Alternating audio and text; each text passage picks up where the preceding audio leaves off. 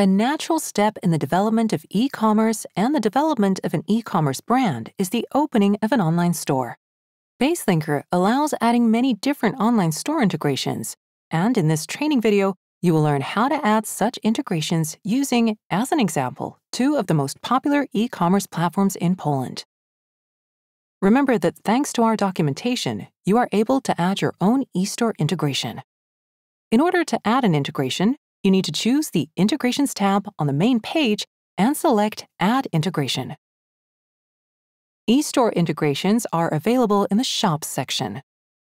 After selecting Show All, you'll see all available store platforms that you can, at this time, add to your account with as little as one or two clicks of your mouse. Undeniably, one of the most popular platforms in the world, as well as in Poland, is WooCommerce. WooCommerce has many benefits because it's an open source platform, therefore, it doesn't come with a monthly subscription fee. You can create an e-shop for free adding selected plugins. And using a WordPress platform, you can create your own e-shop pretty much from scratch. Its relatively low entry level, ease of creating a store, and free integration make WooCommerce an easy choice for a lot of customers. Let's see what's needed to create such an integration and how to set it up correctly. We click on WooCommerce. Only three bits of information are required here.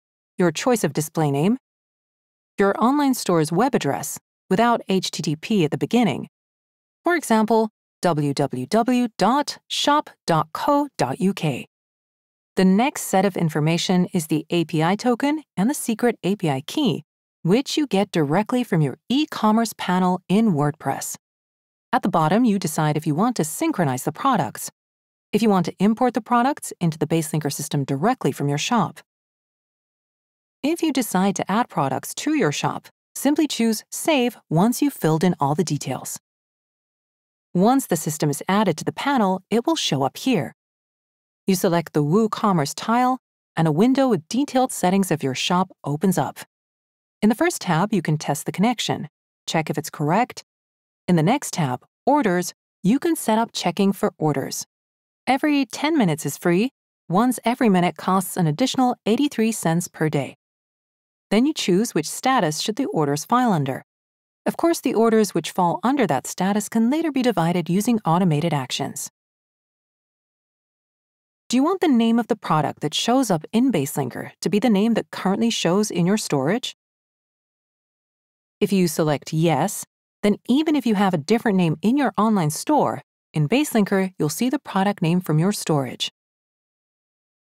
Remember that you need to link the products you have in your BaseLinker storage with those in your online store.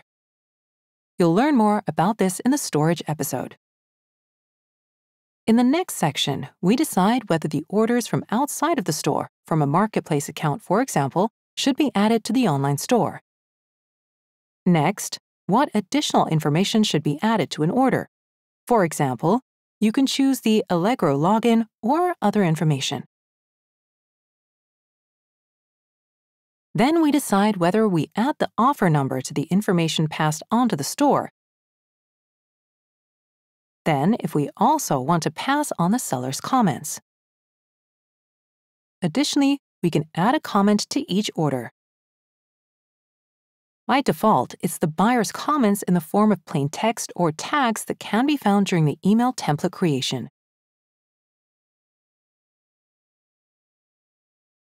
You can also add a custom field to each order. If you change the status of products in an already processed order, by choosing Yes in this window, you'll be able to send set changes to the store. In the next tab, we have information on the products. Here, you can turn on the option which allows to download products directly from the store's warehouse. This way, you can display in all your marketplace accounts products directly from your store's warehouse. If you decide that your main warehouse will be your store's one, then this option needs to be turned on. Here, you'll check when was the last time the products in your store and their stock levels have been refreshed. In the next tab, we link the statuses you currently have in BaseLinker with those in your store. On the left-hand side, you have the BaseLinker statuses, and on the right, you choose the status from the store. Setting this up is essential to be able to pass orders onto the store.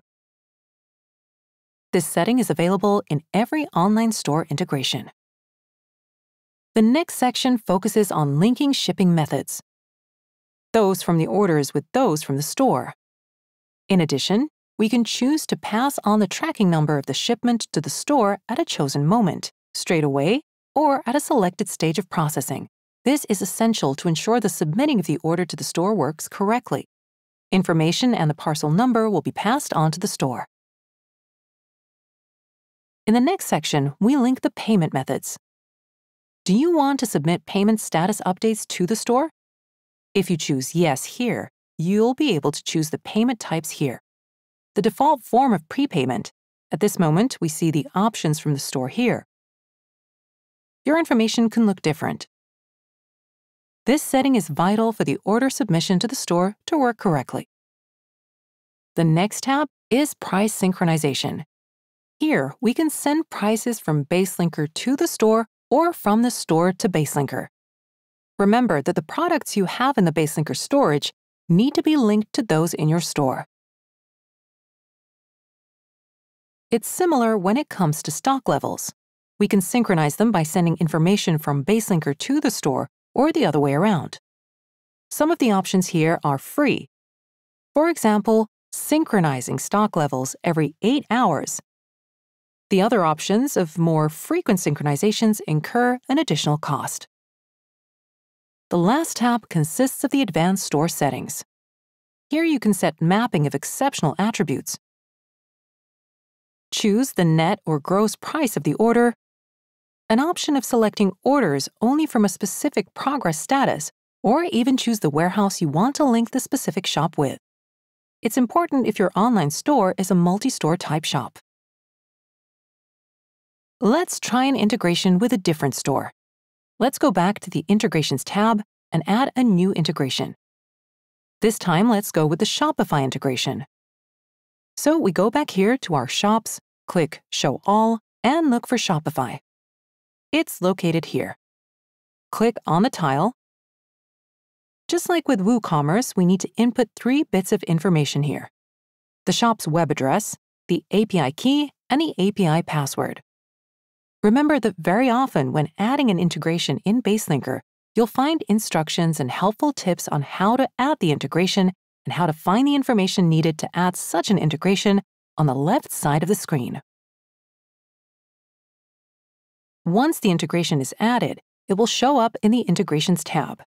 We move on to our second shop on the Shopify platform.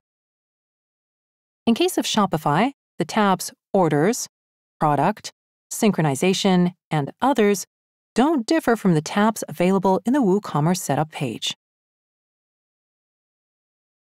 Your orders will show up in the form of a shopping cart where, in the list of orders, you'll also see the name of the shop.